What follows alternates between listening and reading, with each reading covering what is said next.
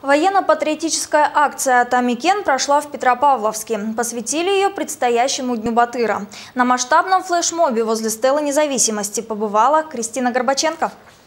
Звучит барабанная дробь. Возле стелы независимости участники акции выстраиваются в живую фигуру. С высоты видно дату предстоящего праздника. 7 мая в Казахстане отмечается День Батыра.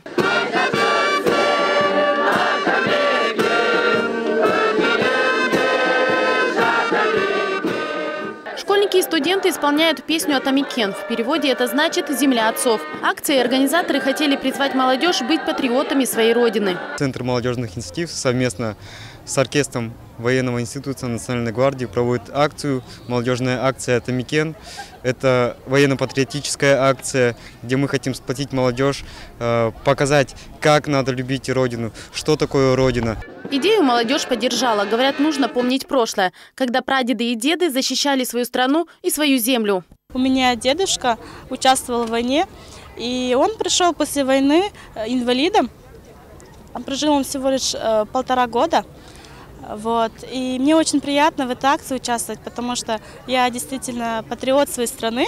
В акции приняли участие свыше 400 человек. Это учащиеся всех колледжей и 10 школ Петропавловска. Кристина Горбаченко, Михаил Казначеев. Новости МТРК.